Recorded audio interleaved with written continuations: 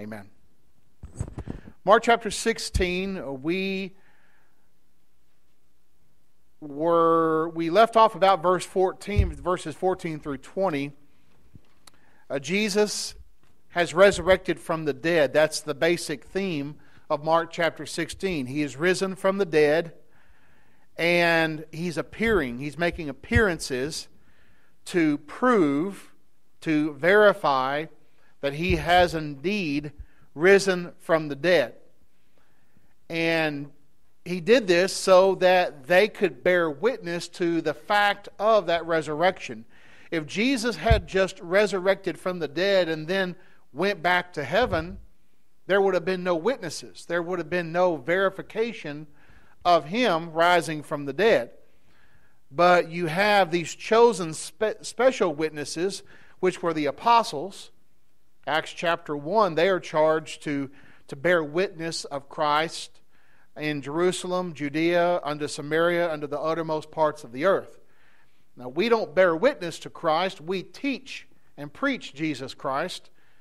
We can't bear witness because of why?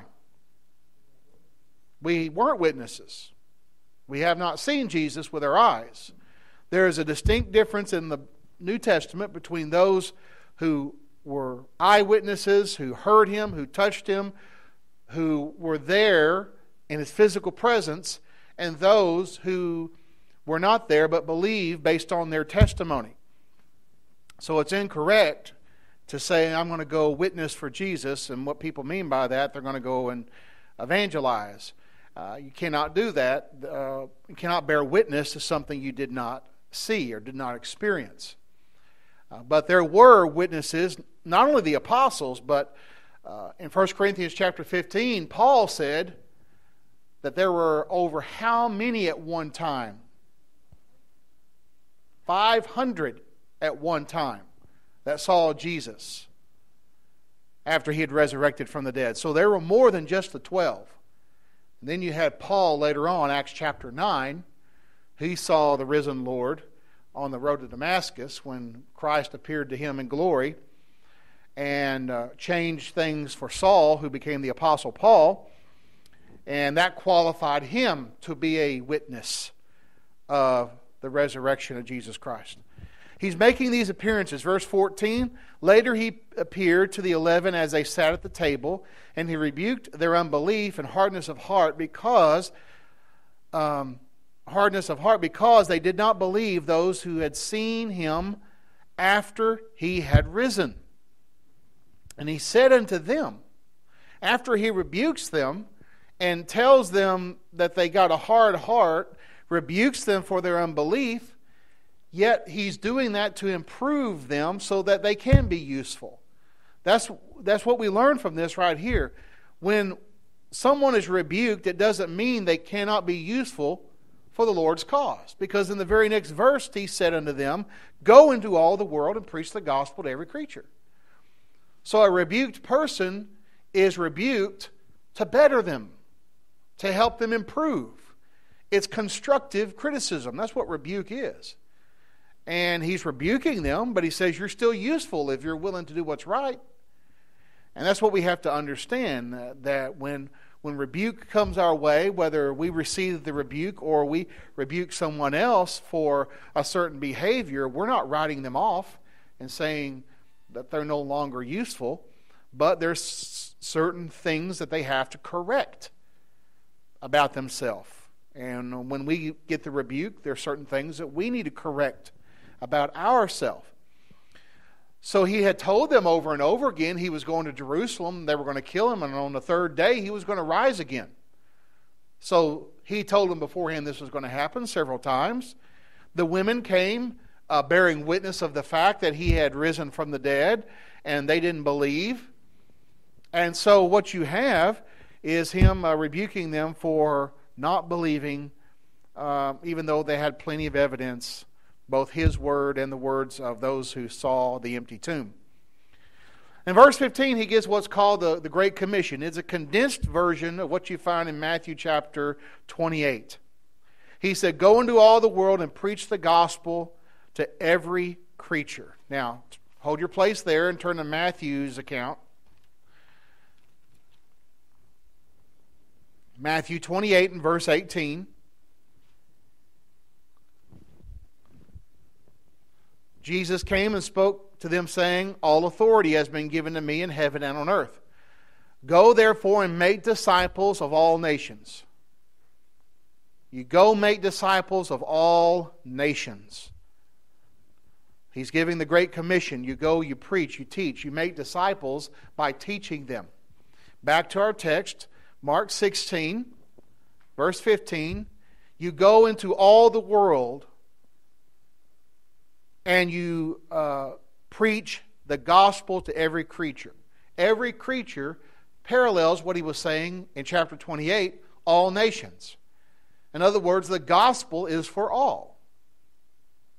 It's for all people, no matter what their background Jew, Gentile. It doesn't matter the color of the skin, it doesn't matter the language. It is for all people.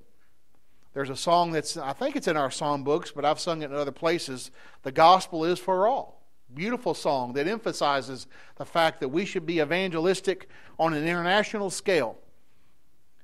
Go into all the world and preach the gospel to every creature. Now, there have been some who have said that this was given, this commission to go was given to the apostles, and the apostles fulfilled it in the first century. There's various passages that say that. And that it really doesn't apply to us in the 21st century. What is the reply to that?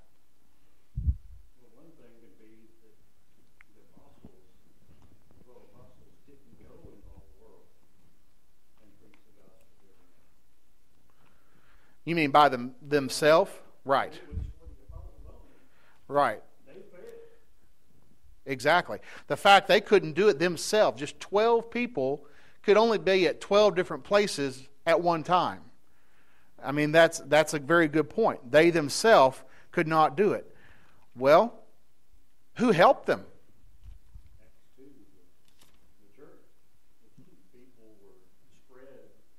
Mm-hmm. Acts 2. Acts chapter 8, verse 4, talking about the persecution that came against the church at Jerusalem. Therefore, those who were scattered went everywhere preaching the word. They were preaching the gospel. So, the very fact that the 12 could not themselves do this shows that it was not limited to them.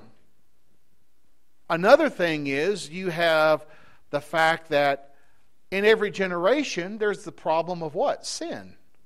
Every generation has that problem of sin. So every generation needs the gospel, needs the saving power of God, which is the gospel, to be preached to it. And the fact that Romans chapter 10 talks about the necessity of preaching the gospel. How shall they hear without a preacher? And Romans 10 17 says, faith comes by hearing, hearing by the word of God. They've got to hear. They've got to have a preacher come and preach to them and, and preach this message. So it is something that was meant to be perpetual, even though it was initially given to the apostles. It was not limited to them. And yes, we are under the orders to go preach the gospel to every creature. I uh, use this example as well. Uh, the Lord's Supper, when it was instituted, was instituted to who? The apostles. The apostles. But we know we're under obligation to partake of the Lord's Supper every first day of the week. Acts 20 and verse 7, 1 Corinthians chapter 11 tells us. So just because a, a, a, command was given initially to the apostles, we know that it was passed down to the church, and we, if we're trying to be the church of the Bible, we're going to do what it, its mission is. That mission is to evangelize. So go into all the world.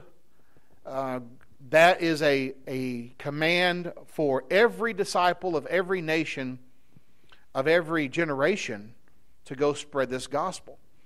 Go into all the world and preach the gospel to every creature, to all nations. Now, the response to that is uh, verse 16 He who believes and is baptized will be saved, but he who does not believe will be condemned. And these signs will follow those who believe. In my name they will cast out demons. They will speak with new tongues. They will take up serpents, and if they drink anything deadly, it will by no means hurt them. They will lay hands on the sick, and they will recover. Now, there's a lot that's being said here that has explanation in other places. Now, the reason I say that is because some people say, well, if verse 15 and 16 still applies to us today, why doesn't verse 17 and 18 apply to us today? In fact, the Pentecostal denominations will say, yes, verse 15 through 18 applies to us today. And so they claim uh, the miraculous signs of speaking with new tongues and casting out demons and drinking things deadly and it won't hurt them. Uh, taking up serpents. There is in the Appalachian mountain areas some Pentecostal groups that you've probably seen in, in uh, uh, television specials that actually take up serpents. They'll bring serpents or, well, snakes into the assembly and they'll dance around with them, dare them to, to bite them. And, you know, they get bit and they get hurt like everyone else. They go to the hospital and die, and they say, well, it was God's will that person die. You know, and they have an explanation to explain that. Uh, we'll, we'll talk about that in just a moment. I'm kind of getting ahead of myself, but the point is, you have to handle aright or rightly divide the Word of God and understand the instructions of Jesus, what continues in every generation and what doesn't. When we go back to uh, the preaching of the gospel, the good news of Jesus Christ, there's a response to that. Verse 16. He who believes and is baptized will be saved, but he who does not believe will be condemned. Very simple to understand. The person who believes the gospel message and is baptized, that means immersed, shall be saved. That's the end result. But he who does not believe will be condemned.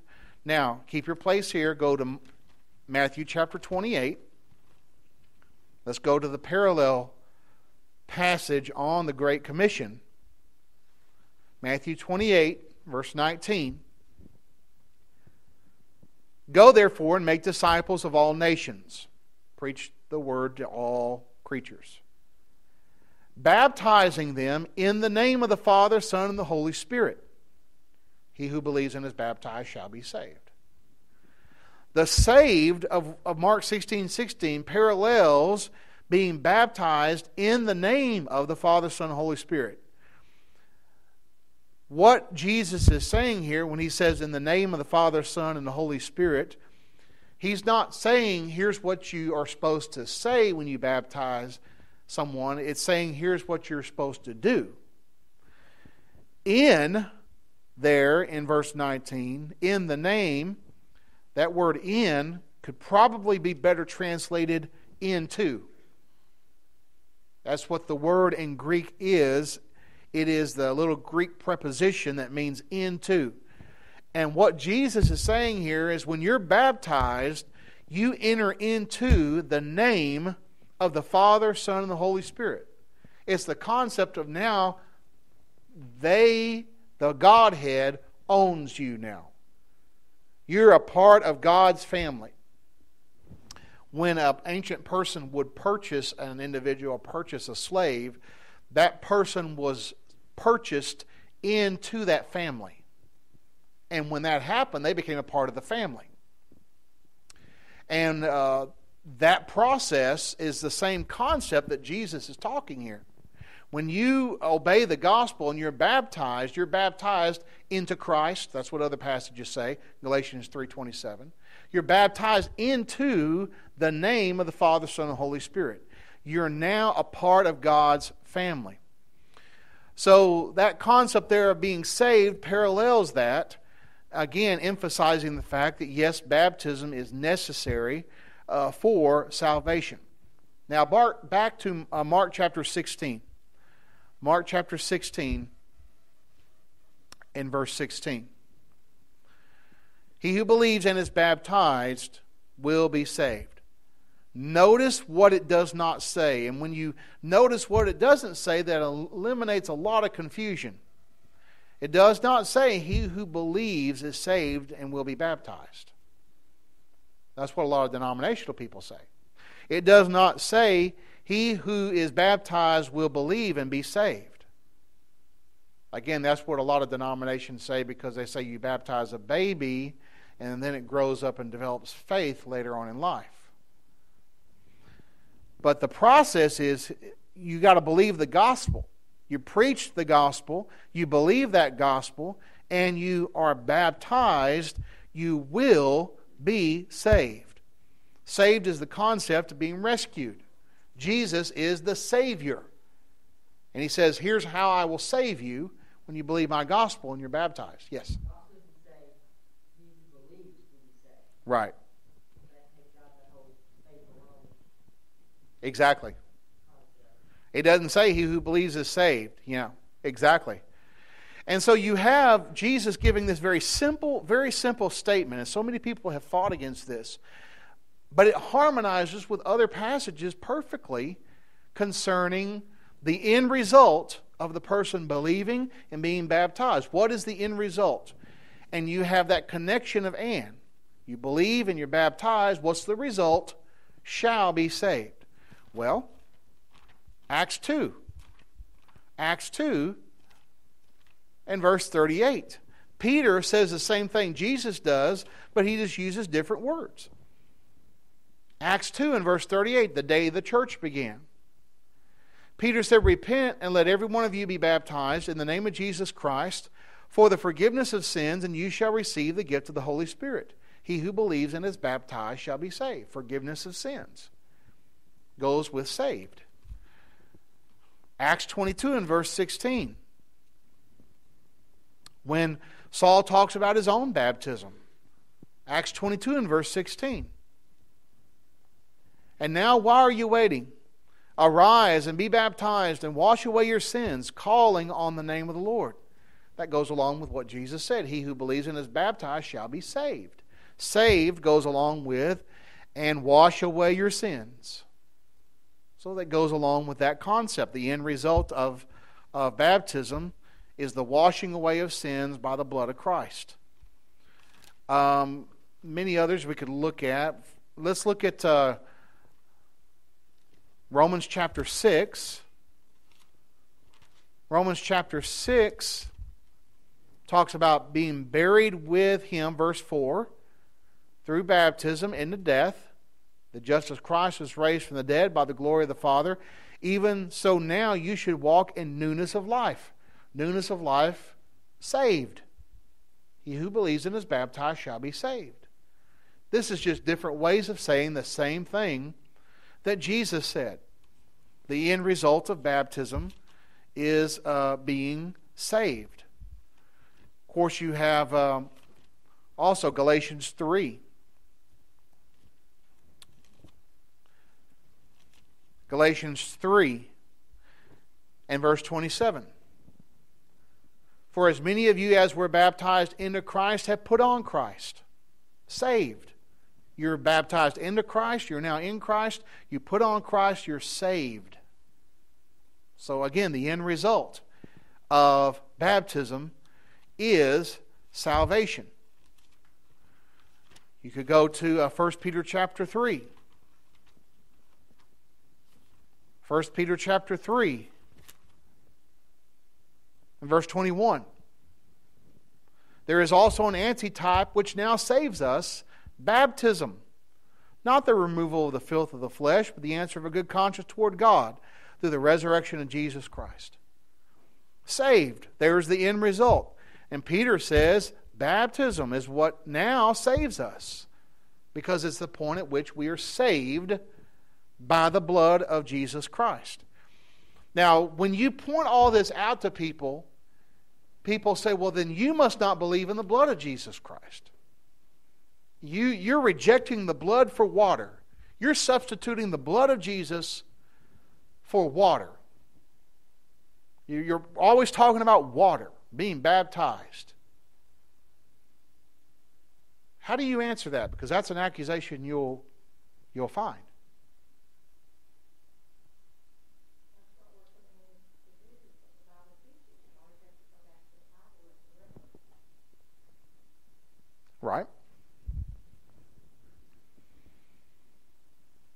But is it baptism versus the blood?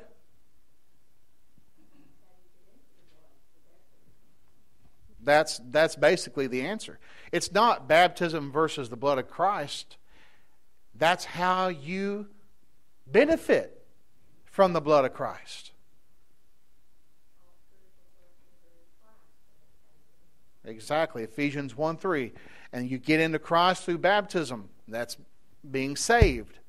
So they they'll make it to where you they they're making you say or they're misrepresenting you by saying that it's baptism versus the blood of Christ. That's what that's what they'll say you're saying.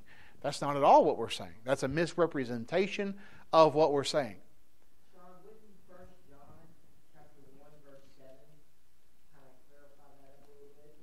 First John. Uh, mm-hmm. Right. It's the blood of Jesus that cleanses us. Also, that's a good verse, and also Revelation 1 5. Uh, as, as John is writing to Christians, he says, You're washed in the blood uh, of Jesus Christ, cleansed by his blood. And so, um, but here's what people will do they'll go to those verses like that you just mentioned and Revelation 1 5 and say, see, there's no baptism there. It says the blood. But see, that's not how you handle the Word of God. You put them together. First of all, who's he talking to? He's talking to people who's already been baptized. They're Christians. So it's not baptism versus the blood. How do you access the blood? How do you get into the benefit of Jesus' death? Well, Romans 6 tells us you're baptized into his death. That's where he shed his blood. So, yes, it is the blood that cleanses, but the question is when? When does that happen? And it happens in the water. Not by the water, in the water. We're cleansed by the blood of Jesus Christ. We're saved in the water of baptism. And the water of baptism does not cleanse us, but that's the place that it takes place when we, by faith, obey that command. That's what Peter was talking about, 1 Peter 3.21, when he says, not the removal of the filth of the flesh. It's not the outer cleansing of the water that does it, but it's the blood of Jesus that cleanses and saves us. So it's not baptism versus the blood of Christ they go together. It's all part of the equation. God has done his part in sending his son. God done everything, has done everything he's going to do to provide salvation. We access it by obeying the plan of salvation he's given. Our part is obedient faith. Now, here's another one that, that uh, verse 16 uh, brings about sometimes in people's minds it says, uh, He who believes and is baptized will be saved, but it says, But he who does not believe will be condemned. It does not say, He who does not believe and is not baptized will be condemned.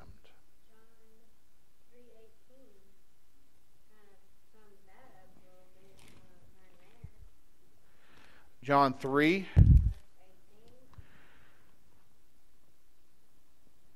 He who believes in him is not condemned, but he who does not believe is condemned already because he has not believed in the name of the only begotten Son of God. That, that's a very good answer to that. You're condemned already if you don't believe.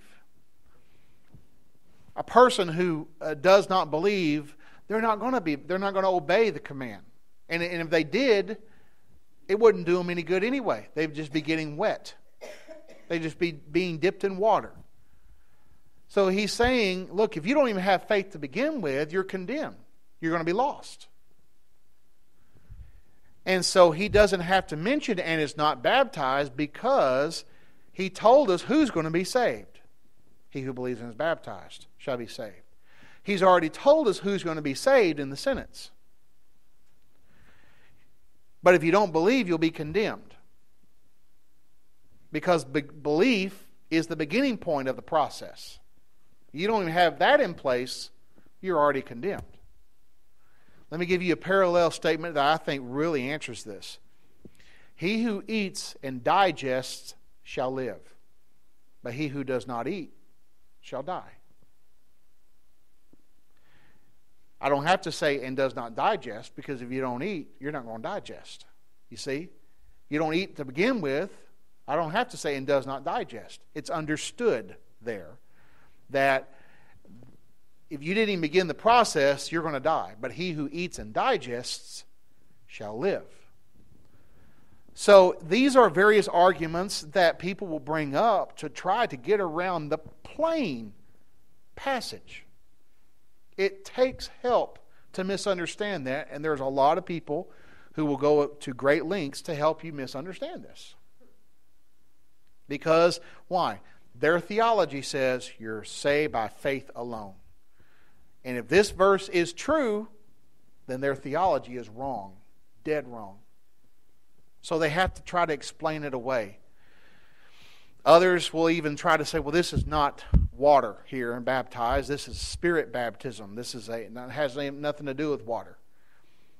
Well, that doesn't work either because of what Jesus said in John 3 and verse 5. You must be born of water and the Spirit to enter the kingdom of God. Again, entering the kingdom of God is equivalent to being saved. It's another way of saying being saved. So there, there's a lot of arguments against verse 16, but they do not hold up. Um, if you know how to go to other verses and how to, to answer them, um, the, the verse is so plain. Let me tell you how plain it is. I was studying, and Matt was with me with a, a, a lady that has no religious background at all. She's basically agnostic. And she was studying with us, and we were looking at some passages to, to help out her brother understand the importance of baptism. And when she read this verse, she said to her brother, This means if you're not baptized, you can't go to heaven. That's probably the first time she's ever read that verse in her life and she understood what it meant. I didn't have to explain it to her. You remember that? That was the conclusion she came to in her mind just by reading the verse. You got to be baptized if you want to go to heaven. Well, that's exactly what we're saying. And uh, that does away with uh, the false concepts that are out there uh, that say you don't have to be baptized to be saved. You're saved first and then you're baptized later on, as the, the Baptist and, and other denominations teach. That's just simply not the case. Any questions or comments before we go any further?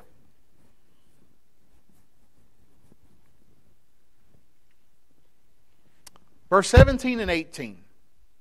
And connects what he says in verse 16. And these signs will follow those who believe in my name, that means by the authority of Christ, they will cast out demons. They will speak with new tongues. They will take up serpents, and if they drink anything deadly, it will by no means hurt them. They will lay hands on the sick, and, and they will recover. Now, some have drawn an erroneous conclusion by saying if you're going to say verse 16 applies to, the, to today, then verse 17 and 18 must apply to today as well. But here's the problem verse 17 and 18 is expanded on and explained in other passages as to what is going on. Basically, what you have in verse 17 and 18 is the miraculous activity of the apostles laid out for us in the book of Acts. That's exactly what the, the apostles did.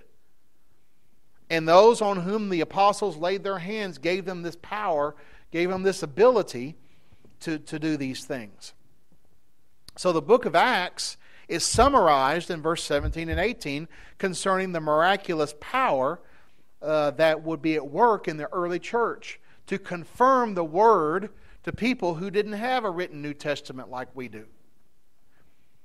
And so, verse uh, 17 and 18 uh, is talking about those miraculous activities. You, you just follow what the, the book of Acts says. In Acts chapter 1, he's giving final instructions to the apostles, telling them to wait in Jerusalem till you're endued with power from on high. You're going to be baptized with the Holy Spirit.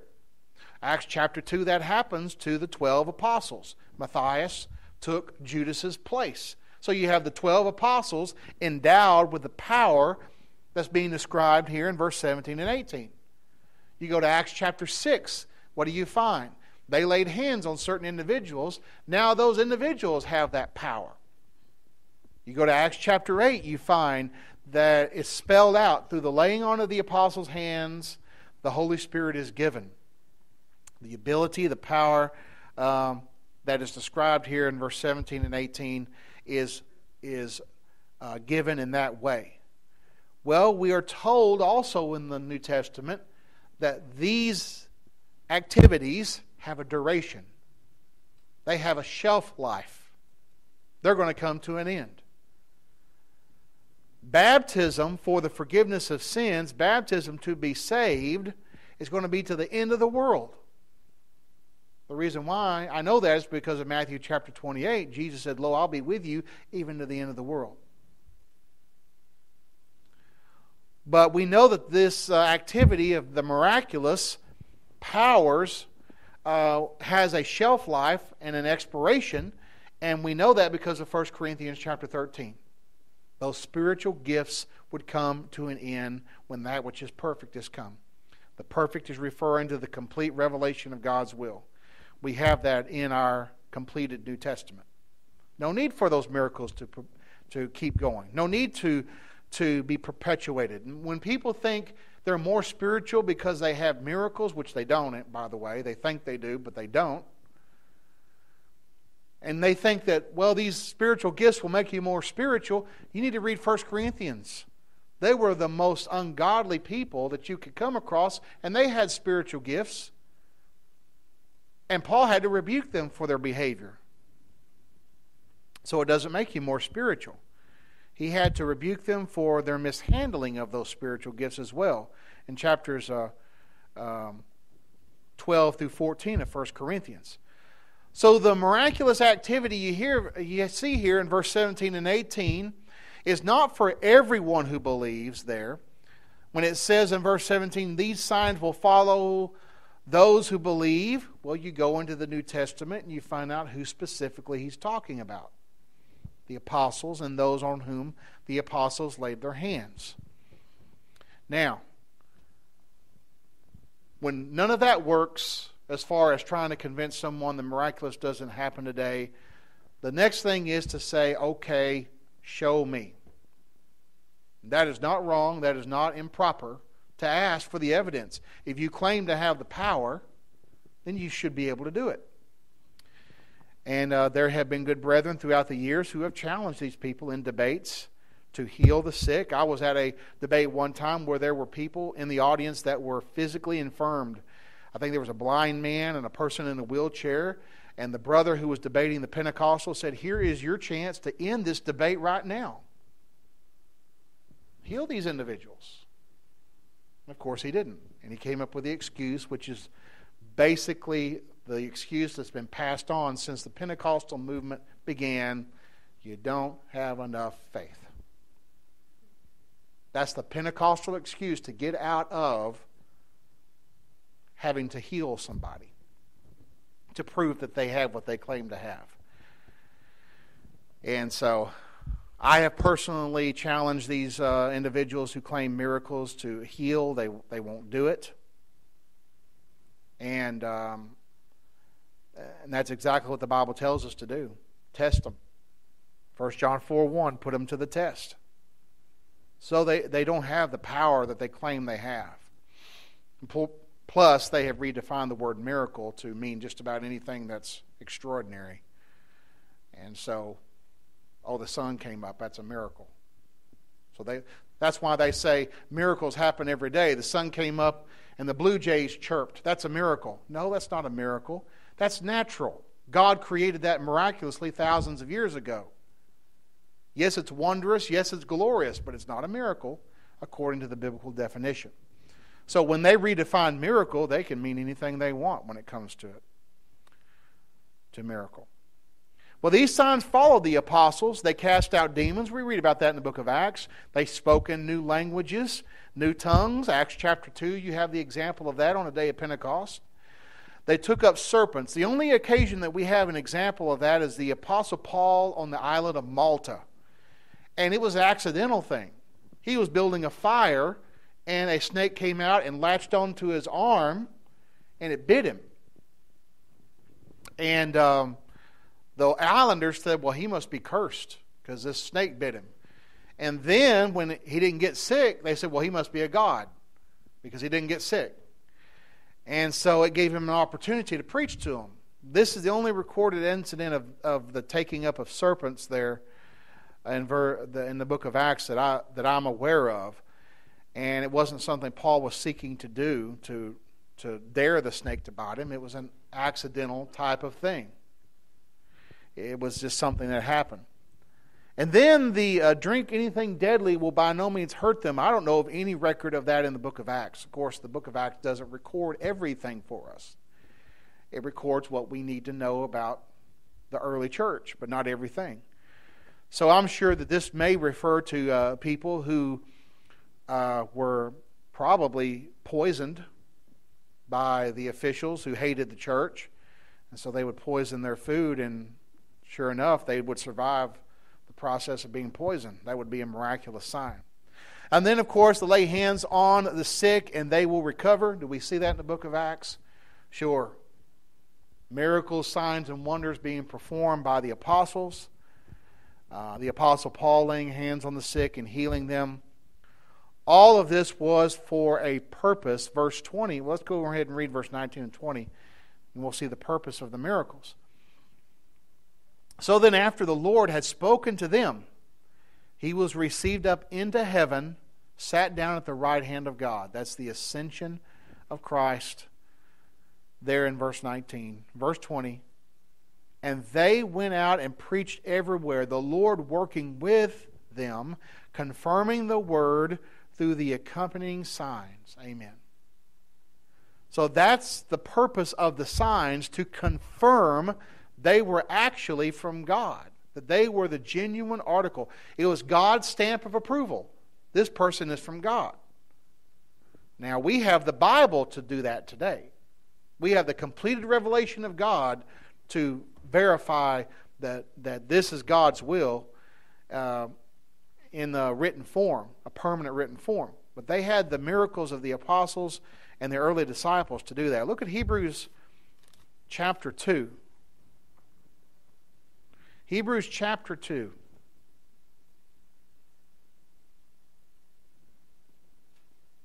In verse 2.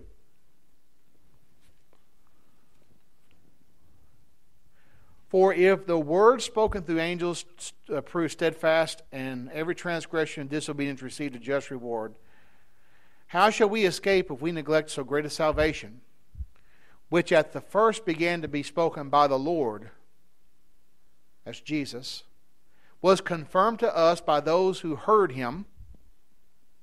Verse 4 God also bearing witness both with signs and wonders and various miracles and gifts of the Holy Spirit according to his own will. God was bearing witness to them that they were his actual people, his actual spokesmen. And so you have that verification there uh, of, of the fact that the, they were from God because when the church began in the, in the first century, in Acts chapter 2, uh, has recorded for us, the day of Pentecost, there was no written New Testament. They were the New Testament. Their message, verbally speaking, and their preaching and teaching, that was the New Testament. Then, over the process of time, the 27 books would be written down and given to us in a permanent form. So, as, as we sum up the book of Mark, as we come to this conclusion of this book, very powerful book, it is the shortest of uh, the gospel accounts because, remember your introduction, what does it emphasize about Jesus? It emphasizes something about Jesus more than the others.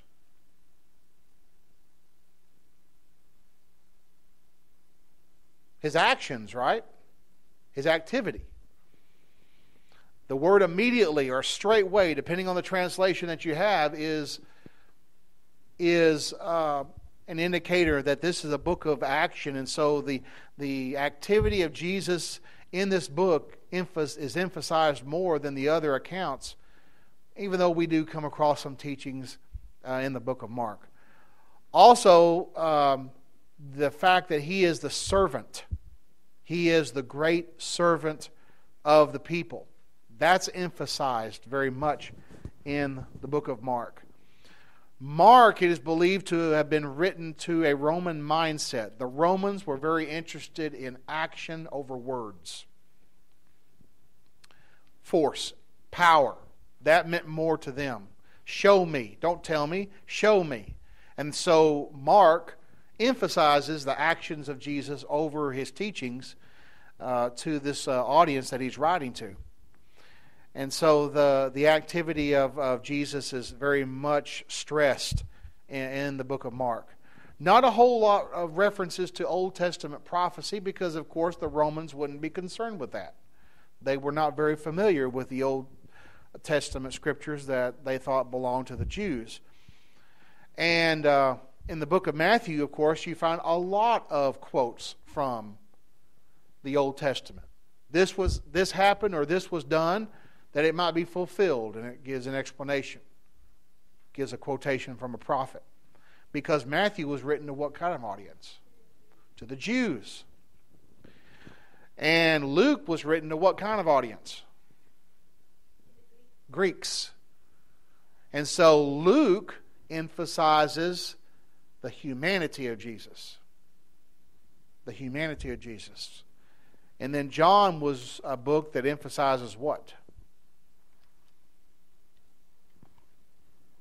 the deity. The deity of Jesus. It was written uh, much later in the first century than the other books and very much emphasizes the deity of Jesus and the fact that he came in the flesh. Like I said, next week uh, is singing. I'm not sure where we're going to go in, in uh, our uh, class. Uh, if you have any suggestion, let me know.